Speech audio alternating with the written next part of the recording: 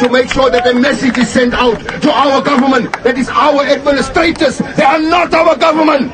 We, the people of South Africa, we are the government. According to the Freedom Charter, the people shall govern and we will govern. We are governing and we will govern. Stand up, people. Stand up for your rights. Let them arrest all of us and see what happens. admire you, we thank you, and we stand with you.